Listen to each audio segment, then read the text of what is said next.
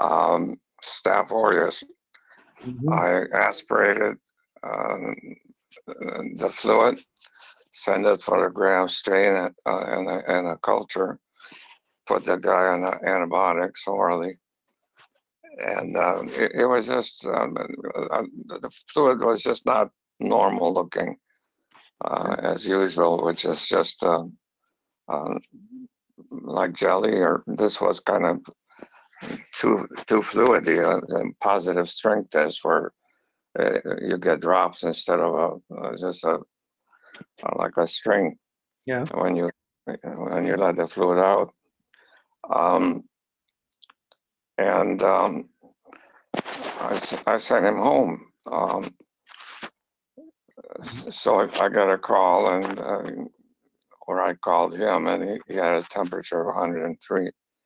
Wow. Um, so I got my assistant and I went over to his house, picked him up, took him straight to the hospital, went to the operating room without stopping any place and uh, uh, opened it up Yeah. and let the pus out. Okay. Uh, he, he had septicemia. Wow. Yep.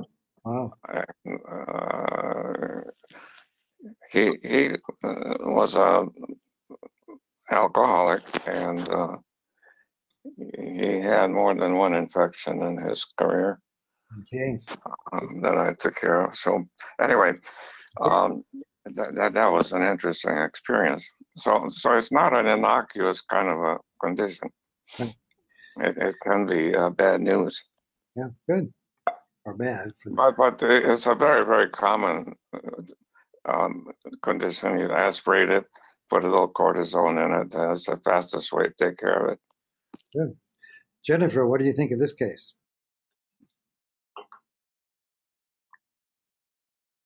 Okay, so here we have some sagittal and axial images of the elbow, and it looks like there's some subcutaneous edema kind of along the dorsal elbow, but I'm not sure if it's fluid signal. Um, it's not, it's a little bit more laterally located than I would expect to be in a bursa.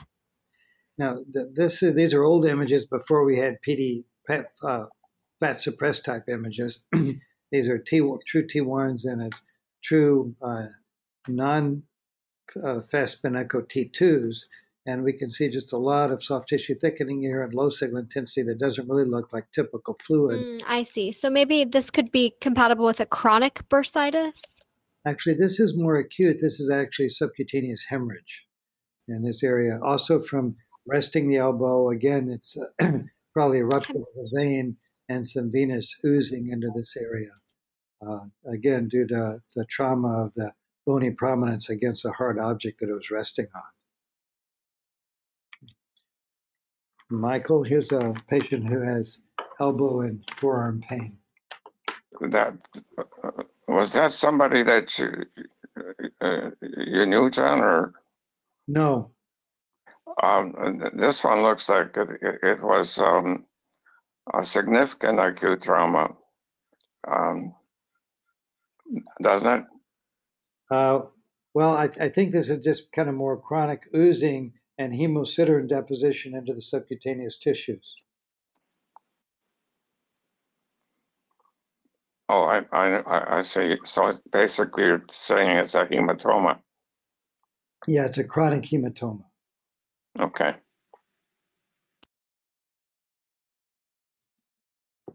Okay. Um, this is kind of a like axials of the forearm. Yeah, this is actually a PD and a, and a uh, T2. They don't look like they're fat sats, so I can't tell if there's like No, edema no- no- no fat suppression. Because the bones are still fatty. So I don't really see Yeah. too much. So in this particular technique, it's a real, real T2, and the fat is normally lower in signal intensity. You haven't seen very many of these Uh, because like nobody do nobody does- nobody does true true T2s anymore, and this is actually too high signal intensity for the fat. So this is all edema within the fat. Okay. And this was someone else who had olecranon bursitis. that kind of ruptured and extended down along the uh, subcutaneous fat on the So forearm. when's the last time? Because we, we learned that because of like the JJ coupling. We do have to learn that for physics boards. Oh, you do? Because like the, the initial T2s, which I've never seen in Yeah, my life, right. Never seen don't have the, the JJ couples aren't broken, so they are the fat is still dark. But then I Uh-huh. guess now the common the you know the T2s that we do with fast spin echoes that they break that JJ coupling and they get Right. they turn bright. Yeah. Yes. That's right. Yep. Okay, Ashu, what do you think of this one? Kind of, kind of chronic vague pain in the forearm.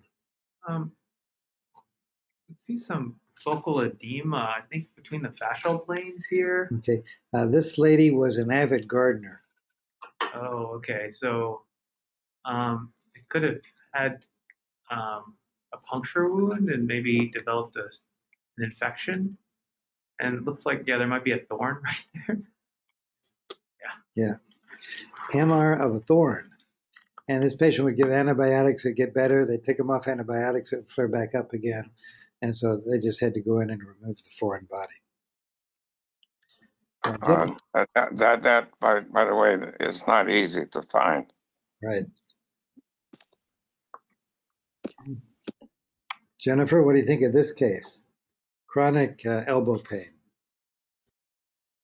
So here we can see that there's marked degenerative disease along the radiocapitellar joint and ulnotrochlear joint with severe joint space narrowing. Um, I guess this could be seen with rheumatoid arthritis Yeah. or the patient, gout. the patient has had prior surgery. Here's the MR scan. Okay. Uh, so here it looks like this is a CT arthrogram, CT or you said this is an MR. No, it's a CT arthrogram. I'm sorry. Okay. Okay. Uh, again, we can see severe degenerative disease. It looks like there is some are some loose bodies. We can see the contrast surrounding the loose bodies there. Um, What kind of and ligaments lots of are these? oh, this is a prosthesis of the radial head. It Uh, looks like silicone. Hmm. This is silicone synovitis. Like a chronic inflammatory reaction and arthritis. Yeah, this is a foreign body reaction to the silicone. And so all this is destructive arthritis from the foreign body reaction. Silicone has not been uh, uh, uh, very helpful in uh, elbows or shoulders or even wrists or hands, uh, unfortunately. Okay. So a lot of my images. Uh, so I'm seeing signal and fat, fatty atrophy along the right rear above the circle. Um, trying to figure out exactly what what's involving. I assume this is is this a like do we have history? Is it acute injury? Is this going to be some kind of like The patient developed a mass and gradually increasing elbow pain. Okay, so I guess one thing that could be considered like some either nervous like denervation or some like a myositis, even like Yeah, like this is probably not in the muscle. Okay. Uh, th- this actually turned out to be a foreign body, chronic foreign Oh, body okay. reaction uh, with a lot of the granulation tissue around it. And you couldn't really see the foreign body very well. It was seen when they removed it pathologically.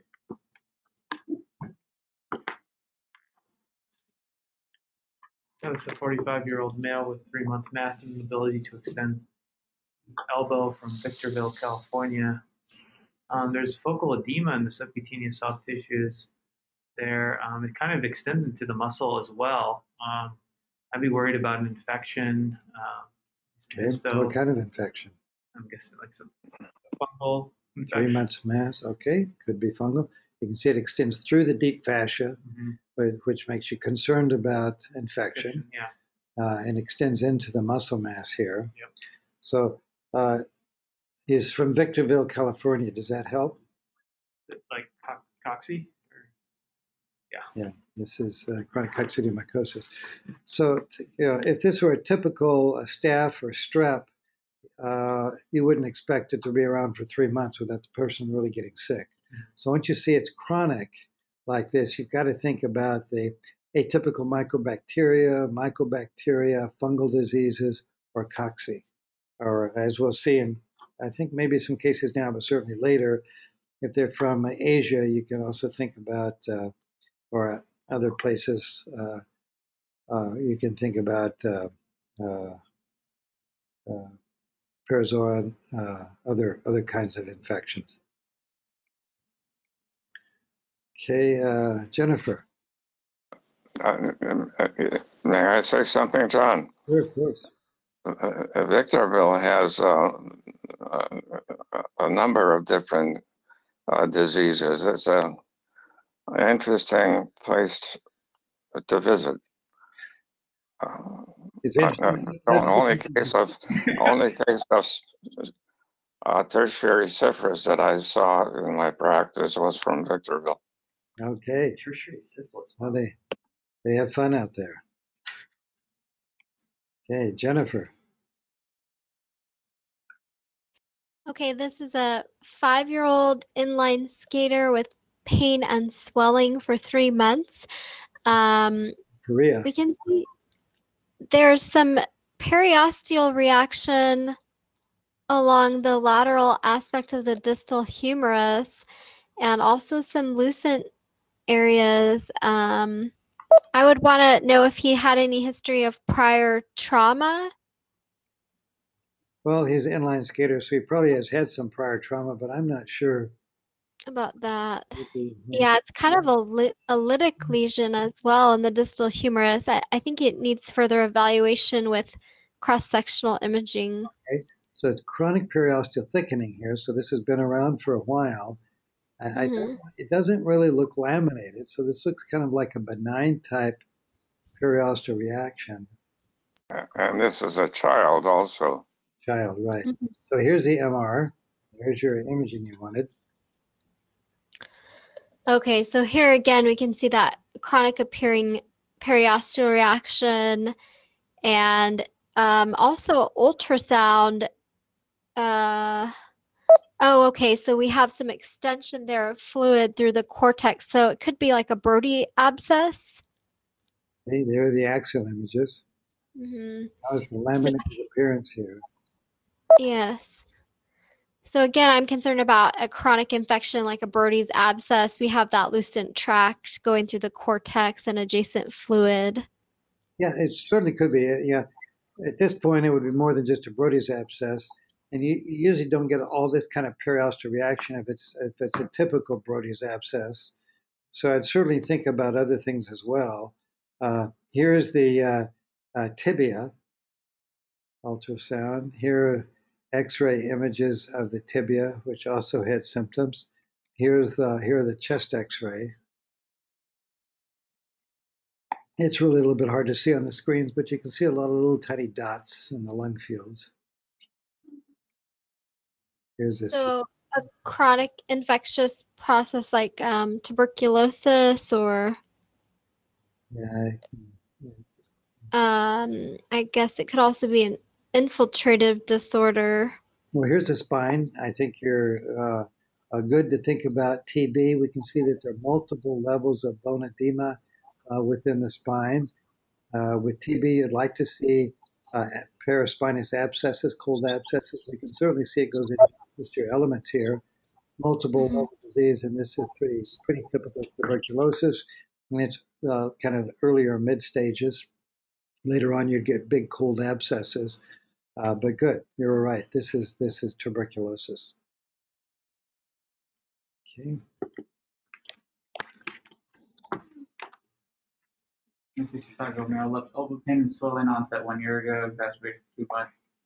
Let's see soft tissue swelling overlying that kind of medial, over, overlying the medial condyle right there. I don't, you it's kind of hard to see from here. I don't see any definite bony involvement. You know, we see this heterogeneous fluid collection along that medial aspect of the distal ulna. It looks fairly dirty, and then there's some edema within the adjacent musculature. Um, And that looks like now it's extending into the joint. So this looks. And how long have we been going on for? One year. Exacerbation two months ago. HPV positive, diabetes positive. Okay. Um. So for like a acute septic joint, you just want to see. You probably want to see like more destructive changes for something like staph or something. But Yeah, this isn't With this- acute. yeah, exactly. So that's what I'm saying. We don't see like ultra. Yeah. If, if this were a staph or a strep, It'd be, uh, the elbow destroyed. would be destroyed. Yeah, exactly. Okay. So what I was trying to say is we don't see that. Okay. So I'd probably rule out some. I guess you could still have some really ins like kind of insidious onset uh, chronic infection, but I assume it's probably sterile. So, might so be. what's your differential? Um, you know, though, again, something like maybe TB again, or some So, fungal, some Maybe atypical TB, infection. fungal, something Fungal atypical. And yeah. now we're showing the Yeah, TB this is again. TB. I don't even see the TV on the chest X-ray. Yeah, I didn't see it there either. I don't see it. So you can get monoarthritis, and then you can get uh, then typically if it's TB, it will eventually spread and have multi-system disease. And here we can see some destructive changes from chronic TB in the right hip and other areas. Okay, so it's there we go. So a 20 year old male with left elbow pain for three weeks, uh, no trauma history. Um, looks like there is a lytic lesion within the distal uh, uh, uh, humerus, Right there. Um, diaphysis. And I think everything else looks okay. Oh, yeah, this is a 20 year old male. I don't know why. Maybe that was old injury, old fracture. injury. And then you can see a well, uh, a lucent lesion, and actually it's it ex- extends past the cortex, so I think it's open there. Yeah, so it's not, and it it, it, lights up on the uh, nuclear medicine bill scan, and there is quite a bit of soft tissue edema as well as uh, joint infection, or at least fluid within the joint space, complex fluid within the joint space. So, um, and uh, some osseous edema of the distal humerus as well, and some uh, minimal cortical erosion there. So, be worried about um, an infection in septic joint here. Um, What kind of organism would you expect? uh, based on the fact that it's already gone on for three weeks again, looking for, uh, you know, probably, yeah, again, uh, mycoplasma or uh, a less less acute infection, mycoplasma tuberculosis. Yeah, if it was from Victorville, you'd be thinking about uh, Uh, toxic. right. when I was in Korea as a, as a battalion surgeon in the army, I saw qu- quite a few cases. It was extremely common in uh, South Korea early on. Now, now, of course, it's a modern country, but I'm surprised uh, that you're you're getting so many cases uh, from from there, John. Uh, Yeah. Th- th- These are these are heavily pi- picked through uh, probably thousands of cases, and they just send the unusual ones. Yeah, uh, I guess it's just um, endemic there. Yeah. They- Early on uh, in America, we didn't see, well, we had our share of tuberculosis. We even had tuberculosis centers. Yeah. Um, that's why people were uh, BCG and, um, Yeah. and so on. Yeah. Okay, uh, Jennifer, 60 year old female from Molokai. Um, so she has polyarthralgia and rash, and she has severe you know your degenerative. do you know your history of Hawaii? Um, I do have not know that much about Hawaiian infection. Okay, fine. Go ahead then. Go ahead. Uh, so severe it up. degenerative disease with erosions and overlying soft tissue swelling. Um, this could be, uh, there's also some density. I'm thinking this is some type of um, fu- fungal or parasitic infection. Mark atrophy of the muscles here, mark destruction of joint space, a lot of synovial thickening. It's a, a neurologic um, uh, uh, problems. Uh, how about that? A big node here. And this is what the skin looks like. Hmm. Hmm. Something in the, the Bible. Uh, uh, An Yeah, old disease. Leprosy, which I've never seen. well, you just saw a case. Yeah. So it can be bird destructive. Molokai has a well-known leper colony on it. So um, it, it's endemic in California. yeah, and it's actually it, it's around a, a lot because it's it's a disease that you can control, but you can't get rid of it very well. So uh, uh, people have chronic treatment. So that's leprosy. Here, here's some other images of leprosy patients. And the the, uh, the leper colony uh, formed there uh, from Father Damien, and uh, and that's uh, so I think it's and it's still there. uh, that island, I think, um, uh, is occupied by very wealthy people today. I hope they're And, And Molokai. yeah and they don't have um, the problem anymore. right Yep. Okay, so male with fever, redness, and swelling right arm for seven days. I mean, there's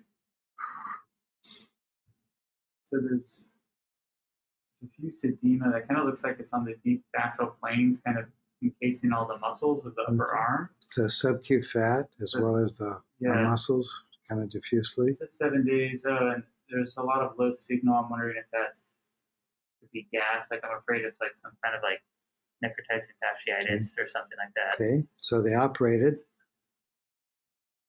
So if you kind of dry up with necrotic changes and it doesn't inflammatory spots, wound culture.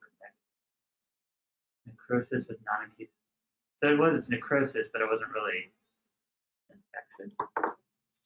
So this was necrotizing cellulitis, but they didn't come up with an organism. Oh, that's weird. Um, was the patient on antibiotics, John? Uh, I'm sure they were, but I, I- I don't know definitely, but I'm sure they were. Yeah, that, I would think so. They don't, I don't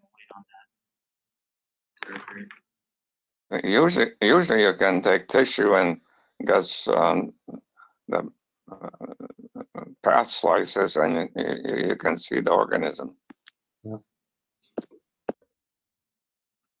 Right, so this is a 39-year-old female with elbow swelling. There's a significant edema posterior to the olecranon here. Um, on the axial sequences, I kind of see that as well. It's, I don't know if that's a, is that a torn triceps or. They thought it was a torn triceps, mm-hmm. but uh, and it was very painful. So they really thought it was a torn triceps, and there's a lot of edema within the muscle, uh, uh, kind of throughout the uh, the muscle. Uh, but this was a spider bite. Well, and uh, these can these can be very confusing if you don't think about it because they can uh, most of the time you think about muscle strains or tears or something uh, but uh, uh, and and I've uh, uh, sometimes a differential comes down between a spider bite and uh, and a gout uh, sometimes with spider bites you tend to get a lot more muscle edema but uh, and you can get a lot of necrosis of the muscle as well uh, with some of the spider bites. Yeah, like the, the brown recluse, I know it can be pretty, they don't get treated, Yeah. pretty extensive. they Yeah. have that here, don't they? Yeah, They do, do. yeah. Okay, uh, Jennifer.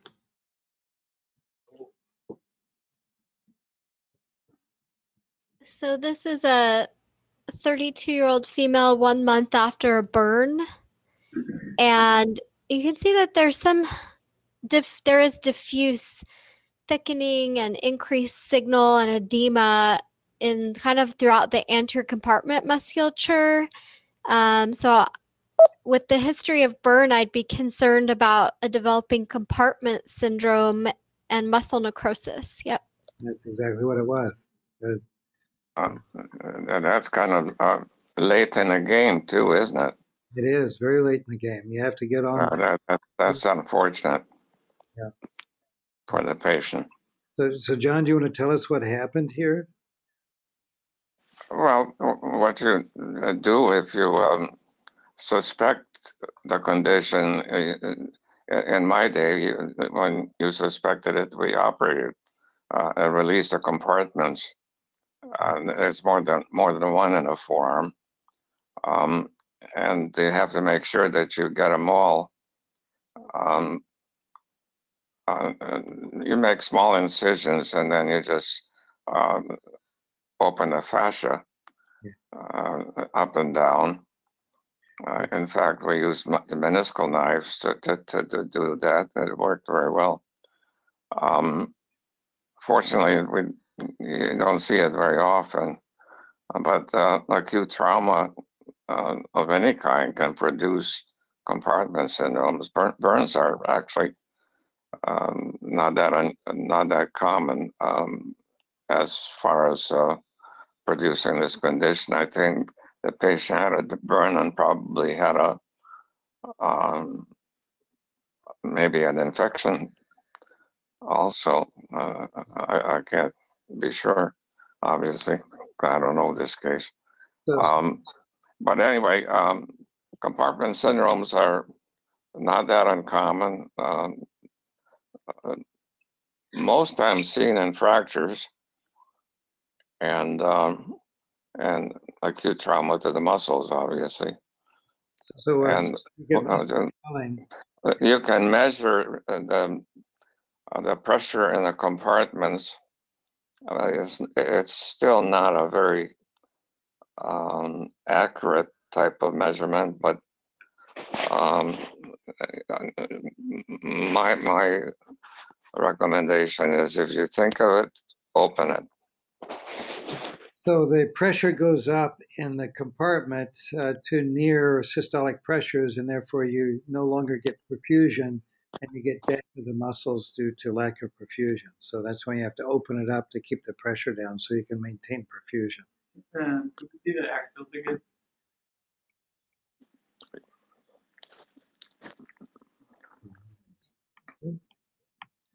All right, Michael. Um, so first image, see these kind of septated cystic fluid collections around the distal humerus. It looks like they're probably intra-articular, looking on the second image where they are. And then on the third image, the axials, they look heterogeneous, kind of dirty fluid. And we have the history, like this is acute. There's soft tissue edema as well, kind of overlying on that medial aspect, um, tissue. So given no history, what are you what are you thinking about? Well, one, I'm worried about like a, you know, an infected joint effusion. Another Okay. thing could be if it could be Some sort of chronic infection. Yeah. Yeah, It could also be inflammatory yeah. This uh, is synovitis. yeah, this is chronic rheumatoid. synovitis rheumatoid. Good, yeah. Yeah, sure. But we had a, a very good knee today. Um, all right, so here we can, is this, is this extensive edema of the supinator muscle on the second image? And um, I don't know if there's a focal erosive change of the uh, lateral aspect of the humerus there. Yeah, I think this is just synovial thickening is synovial and the distal part of the joint space. All right, so we could- think about gout here. We could think about inflammatory neuropathy. Um, looks like synovitis here is it's complex fluid collection within the joint. Um, yeah, I mean it could again it's pretty wide differential. I I, I wouldn't consider infection in this case necessarily on my top. I would rather consider inflammatory neuropathy. It could be chronic infection, but that in the U.S. that would be much less likely. You have the erosion here. It's not a classic location for gout. If you're on the olecranon primarily, then I would consider gout. Uh, this turned out to be rheumatoid arthritis. Jennifer, what do you think of this one?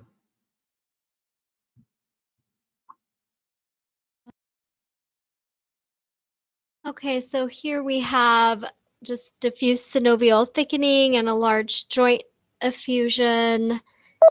And there are some degenerative changes. Big erosions here. Okay, our erosion. So again, we're thinking chronic infectious process or inflammatory arthropathy. The erosion, Uh, the erosion has gone all the way through the distal humerus. okay, so this could be gout. Could be gout, uh, but again, uh, gout doesn't typically present with this kind of primarily joint. Uh, like it can, but but it's not, not characteristic of the, to have this amount of involvement just of a joint space. Gout more typically involves entheses, uh, tendon insertions, uh, areas like that. This is primarily a synovitis of the joint, and again, this is rheumatoid arthritis. Michael, this was an older elderly lady who, for um, several months now, has had a swelling in the back of her elbow that she punctures every day and drains. Gosh. uh, well, there's an irregular lucent lesion within the olecranon. Okay, Uh, pursue some, you know, and then so what do you large, think? What am I thinking? Yeah. Uh, well, I mean, there's large bursal effusion. Like you said, gout affects the olecranon, so I don't know if she's.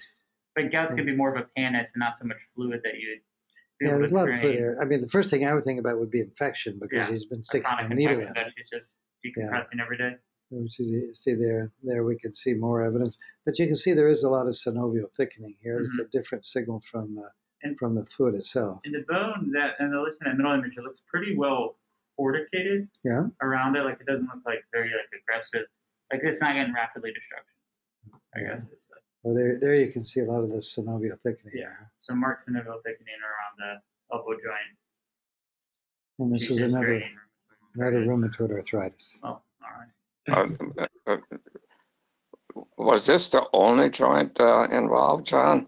Uh, I'm sure it wasn't. I don't remember the details, but I'm sure it was not the only joint involved. I wouldn't think so.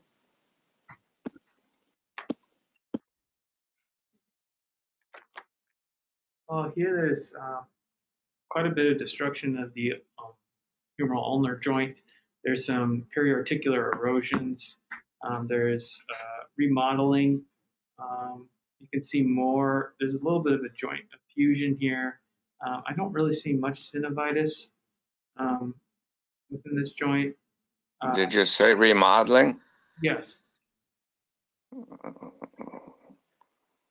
Okay, I'm not sure what that means. mostly edema and, and, and the, cor- the cortical margins look irregular uh, of the ulnar humeral joint there. Yeah, I think that's mostly erosive changes. Erosive change, okay. So end stage of rheumatoid. Okay. Yeah, so another rheumatoid. Okay. Jennifer, what do you think of this patient? Uh, okay, so history of lupus, multiple one month old masses. Uh, so we can see several subcutaneous nodules in the, I think we're in the level of the arm. Yes. Um, so this is probably lupus erythematosus with the characteristic nodules. Oh. So this is the pannus that you can get with lupus. So lupus with MR, you know, you can have all kinds of arthritic changes. You can get soft tissue thickenings like this, uh, and then uh, you, you- it's uh, the other MR signature of lupus is multiple uh, areas of bone infarcts. And that, that treatment can also produce changes, Right. Yeah. So that it, it becomes kind of complex. The sudden pain, swelling, although they're on dialysis, chronic renal failure, and clinically they're worried about septic arthritis. I do think I see a joint, maybe a small joint effusion. I think there's some recency behind that. Um, so we do see a joint effusion.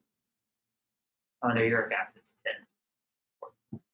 So joint effusion, it enhances maybe the synovium around the joints a little bit, kind of mildly thickened throughout.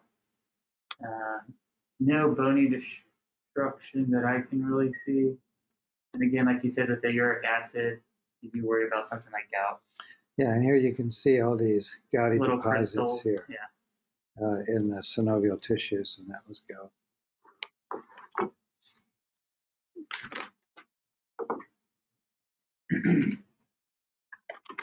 Um, here we see um, soft tissue edema posterior to the olecranon, um, and uh, looks pretty focal there. Um, uh, you have the arrow sign um, with uh, focal edema in the uh, the olecranon bursa. Um, But, but, but notice the character of this. This doesn't look like just a fluid it's complex, yeah. like we see in what we typically say olecranon bursitis. Mhm. Uh, it's much more complex than that. Yeah, almost like synovium there. Yeah, So what do you think it is? Uh, is it, is it a, another gout case?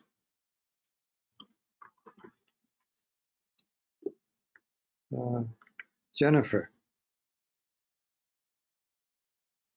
All right, so here we can see increased signal and synovial thickening and fluid at the triceps attachment to the olecranon. So this would be another case since it's at the triceps attachment. I'd be concerned about gout.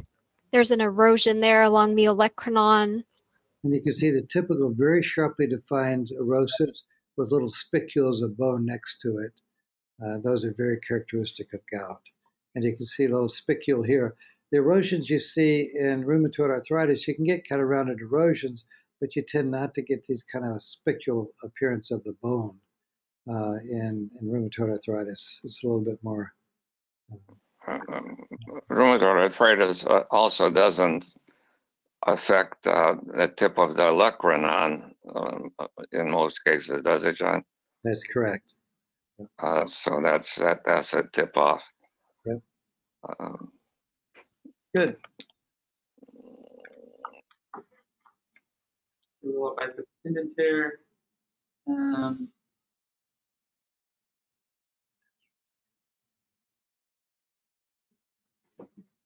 I'm looking at, so is that just a lot of like, I can't tell if that's just all fatty atrophy or if that's all edema throughout the musculature. That one right there where seems the brachialis coming down and touching the ulna. Um, Uh, this is fat suppressed. This is not so- fat so that suppressed. looks That's a just like- T1. Marked fatty atrophy. Okay. So what do you think's going on here? Um, I guess one that could be a, a, a nervous issue. It could be a, yeah, a chronic denervation, Yeah. and this happens to be muscular dystrophy.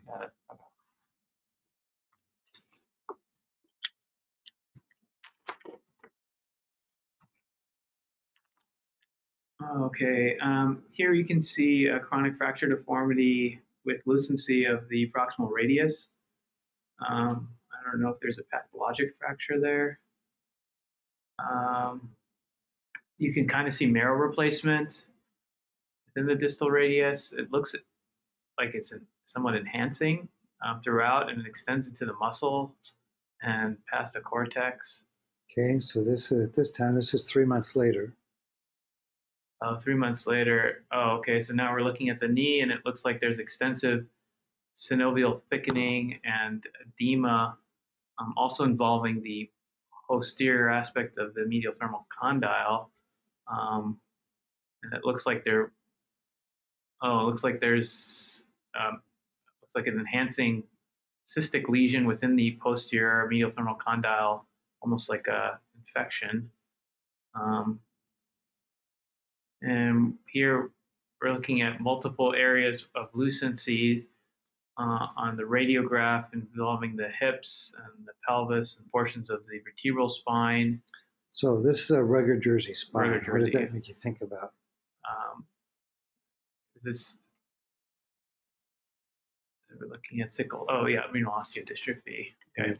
So if we go back here, if you look at the kidneys, uh, their uh, calcifications are seen. Oh yeah. okay. That that that can give you a little bit of a clue, I guess. Yep. Yep. Yeah, think about some other things that we don't typically think about. Jennifer?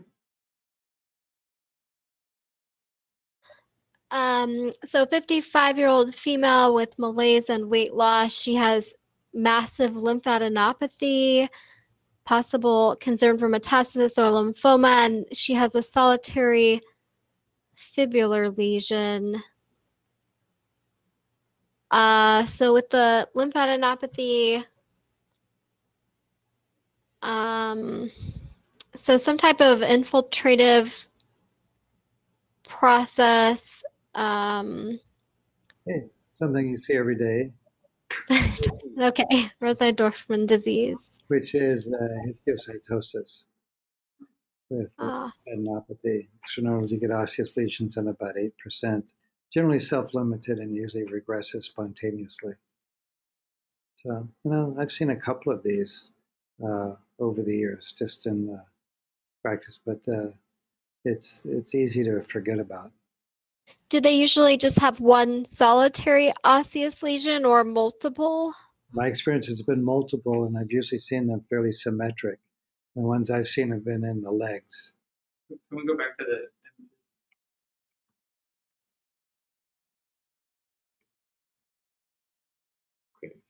I mean, so if you if you saw that as like de novo without history, I guess they're differentials here. Yeah, I mean, it it the it, looks like it's relatively benign or slow growing because the bone's remodeled. It hasn't uh, broken through the bone. So you're looking at something that that's uh, most likely benign or very uh, slow growing sort of sort of thing. And uh, uh, the differential can be fairly wide. It can be there are a whole bunch of fibrous lesions that can do this. Like And fibrous so you- dysplasia could almost kind of. uh, fibrous dysplasia, absolutely, depending upon the age group. Uh, certainly, if this were a kid, I would be concerned about that. I don't really see a periosteal reaction uh, to to be concerned about the more malignant type lesions. Uh, but uh, this is the sort of thing that has to be biopsied if you can't make it. there are no, no compartments uh, either, so the cysts are kind of um, Yep. are, are out. Okay, here we go. There's another lesion. Okay, two, two, I guess two months old, left forearm swelling and tenderness for two weeks. This is kind of a related type lesion in a sense. Yeah, so I see this kind The, of lytic, the other one is the adults. This is one that's typically seen in kids. so it's like a lytic expansile lesion within the uh, proximal radius, the kind of thinning of the cortex, or the cortex is like broken. This, this is a lesion that you will be seeing in clinical practice. So is this like EG or Langerhans cell? Yeah. Yeah, Eosinophilic this- granuloma. This is eosinophilic granuloma. Right.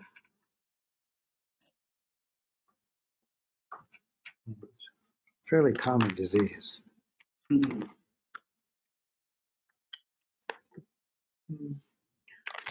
Now here, a two-year-old female with elbow pain, distal humerus along the medial aspect. You see some periosteal reaction and a little bit of lucency there. Um, it does light up on the bone scan. On the MRI, you can see that there is um, cortical, uh, that the, cor- uh, the cortex is broken.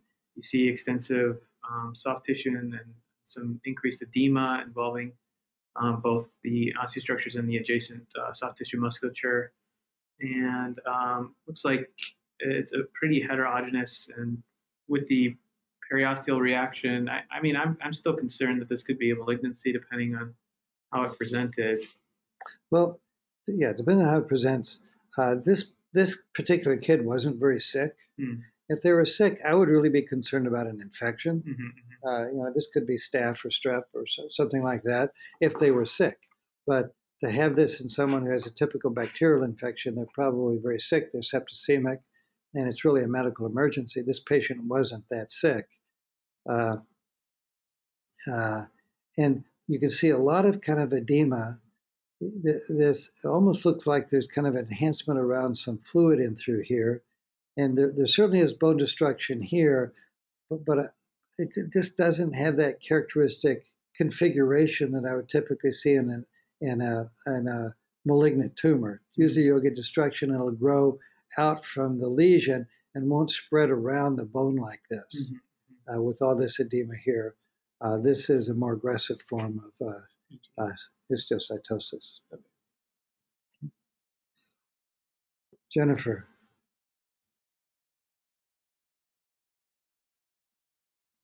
Okay, so here we have an ultrasound. It looks like a three-year-old male, and we're looking at the left elbow. Um, I see subcutaneous thickening along the left elbow.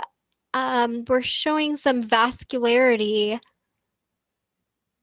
along the left elbow as well. And here there's some subcutaneous edema along the posterior elbow.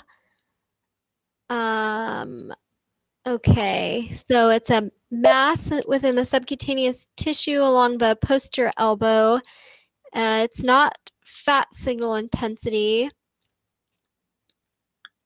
Um, All these subcutaneous lesions, they come up Mhm. a lot of different kinds, shapes, and so forth. And a lot of people get MRs, and I think the MRs are typically very nonspecific in these lesions. I think it's very hard to make a specific diagnosis on subcut- subcutaneous lesions, so I usually recommend biopsy. Uh, this happened to be granuloma annulare, uh, the subcutaneous form of that. Okay, so that's uh, here. So we've kind of finished the elbow except for tumors, and we'll uh, we'll talk. Maybe it's what I'll do uh, next week. Uh, why don't we start just a review of soft musculoskeletal, soft tissue, and bone tumors, and then after we do the tumors, we'll come back to other joints and uh, and continue our march through the rest of the joints of the body. Okay. Great. Any questions? All right. Thanks. Thank you. Well, have a great Thanksgiving, everyone. Yeah. too. same with thank you. you. Thank you. And, Happy and- and Thanksgiving. next